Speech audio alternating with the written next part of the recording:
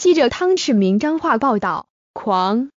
一辆游览车昨天从国道一号彰化交流道下张化市新平路后，竟突然直接往左回转，逆向行驶在新平路上。在四个车道上顺向行进的二十辆轿车驾驶全都看傻，纷纷停车不敢动，与游览车对峙。游览车驾驶又钻隙缝硬闯，小型车纷纷闪避让道。让游览车扬长而去，不少驾驶都说，校车逆向不稀奇，游览车逆向才够狂。这个罕见画面出现在昨天上午十时许，影片中只见一辆游览车从国道一号一百九十八公里北上彰化交流道下到彰化市平面道路新平路时，竟未顺向右驶进入彰化市区，而是突然往左回转。整辆大车逆向行驶在新平路上，正好高速公路南下匝道处红灯，游览车因红灯停下，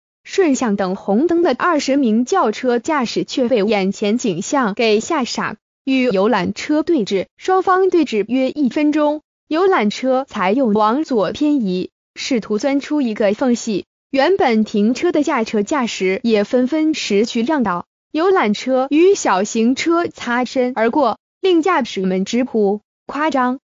还有驾驶气的说，根本是霸凌小车。